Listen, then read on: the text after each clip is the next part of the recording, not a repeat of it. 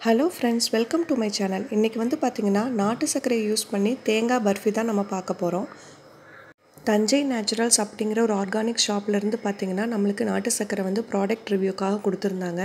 So அதை வச்சு நான் வந்து ஸ்வீட் பண்ணலாம் அப்படின்னு ட்ரை பண்ணியிருந்தேன்.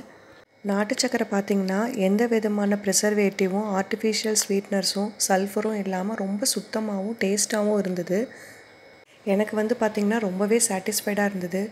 டீ காஃபி ஸ்வீட் எல்லாமே வந்து பார்த்திங்கன்னா இந்த சர்க்கரையை யூஸ் பண்ணி நான் செஞ்சபோது ரொம்ப சூப்பராக இருந்தது. வாங்க இப்போ நம்ம எப்படி செய்யலாங்கிறத பார்க்கலாம் தேங்காய் வந்து ஒரு கப் எடுத்துக்கோங்க. நாட்டு சர்க்கரை வந்து அதே அளவுக்கு ஒரு கப் எடுத்துக்கோங்க. இப்போ ஒரு கடாய் வச்சுட்டு திருவண்ண தேங்காயை வந்து சேர்த்துக்கோங்க. ஒன்றுலேருந்து ரெண்டு ஸ்பூன் வந்து நெய் விட்டுக்கோங்க. நல்லா வந்து நெய் வந்து தேங்காய் திருவல்ல வந்து எல்லா பக்கமும் ஸ்ப்ரெட் ஆகிற மாதிரி நல்லா வந்து கலந்து விடுங்க. கண்டிப்பாக வந்து மீடியம் ஃப்ளேமில் தான் இருக்கணும். நல்லா வந்து எல்லா பக்கமும் நல்லா பரவற மாதிரி கலந்து விடுங்க.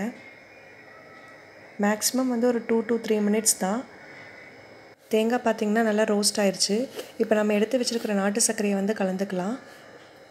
நாட்டு சர்க்கரை வந்து ரொம்ப கட்டி கட்டியாக இருந்ததுன்னா நல்லா உடச்சி விட்டு கலந்துக்கோங்க. இது வந்து பார்த்திங்கன்னா லைட்டாக அமுக்குனாலே வந்து உடஞ்சி வந்துடுது அதனால் நான் அப்படியே சேர்த்துக்கிட்டேன். அந்த கட்டியெல்லாம் நீங்கள் கரண்டியாலேயே வச்சு அமுத்துனீங்கன்னா அது அப்படியே வந்து நல்லா கலந்து வந்துடும் நல்லா வந்து இந்த மாதிரி கைவிடாமல் கிளறி விட்டுக்கோங்க. கண்டிப்பாக ஃப்ளேம் வந்து மீடியமில் தான் இருக்கணும். ஒரு கால் கிளாஸ் தண்ணி அதிகமாக ஊற்றிடாதீங்க கால் கிளாஸ் வந்து தண்ணியே போதுமானது. நல்லா வந்து தேங்காய் துருவலோடு அந்த நாட்டு சக்கரை கலந்து வர மாதிரி நல்லா கிளறி விடுங்க.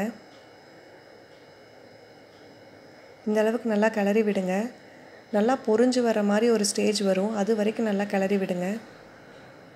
கண்டிப்பாக தீ வந்து மீடியம் ஃப்ளேமில் தான் இருக்கணும்.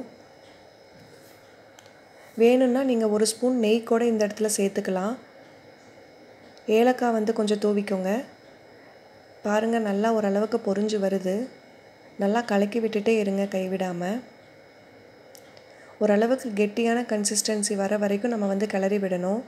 பாத்திரத்தில் ஒட்டாமல் நல்லா உருண்டு வரும். அது வரைக்கும் வந்து நம்ம பார்த்திங்கன்னா கிளறி விட்டுட்டே இருக்கணும். அதுதான் கரெக்டான பதம் பர்ஃபிக்கு. தண்ணியெல்லாம் ட்ரை ஆகிட்டு நாட்டு சர்க்கரையும் தேங்காய் துருவலும் பார்த்திங்கன்னா நல்லா கலந்து வந்துருச்சு. ஓரளவுக்கு கெட்டியான பதம் வர அளவுக்கு நீங்கள் வந்து எடுத்துக்கணும். இந்த இடத்துல வந்து நீங்கள் ஆஃப் பண்ணிக்கலாம். பார்த்திங்கனாலே தெரியும். இந்த கன்சிஸ்டன்சிக்கு நீங்கள் எடுத்து மோல்டு இருந்தால் நீங்கள் மோல்டில் போட்டுக்கலாம். இல்லைன்னா வீட்டில் இருக்கிற பிளேட்லேயே நெய் தடவி அதில் வந்து இந்த மாதிரி வந்து சூடாக அப்படியே போட்டு நீங்கள் ஷேப் கொண்டு வந்துக்கோங்க.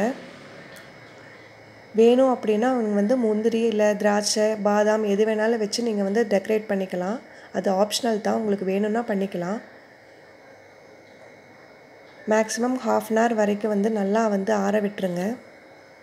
நல்லா ஆறுனதுக்கப்புறம் பீஸ் போட்டு எடுத்திங்கன்னா ரொம்ப டேஸ்டியான நாட்டு சர்க்கரையில் தேங்காய் பர்ஃபி ரெடி கண்டிப்பாக ட்ரை பண்ணி பாருங்கள் அவ்வளோ டேஸ்டியாக இருக்கும். சடனாக வீட்டுக்கு யாராவது கெஸ்ட்டு வந்துட்டா கூட மேக்ஸிமம் ஃபிஃப்டீன் மினிட்ஸ் தான். தேங்காயை துருவி நீங்கள் நாட்டு சர்க்கரையை போட்டு வந்து ஸ்வீட்டை ரெடி பண்ணிடலாம் கண்டிப்பாக ட்ரை பண்ணி பாருங்கள் ரொம்ப வந்து சூப்பராக இருக்கும். உங்களுக்கும் பியோரான ஆர்கானிக் ப்ராடக்ட்ஸ் வந்து தேவைப்படுதா? கண்டிப்பாக வந்து தஞ்சை நேச்சுரல் வெப்சைட் போய் பாருங்கள் அவங்க இன்னும் வந்து நிறையா ப்ராடக்ட்ஸ் வந்து சேல் பண்ணிகிட்ருக்காங்க கண்டிப்பாக வேணும்னா ட்ரை பண்ணி பாருங்கள்